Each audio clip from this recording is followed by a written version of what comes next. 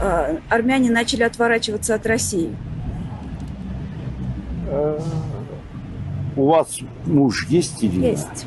Если вам изменяет муж, что вы будете делать? Убью.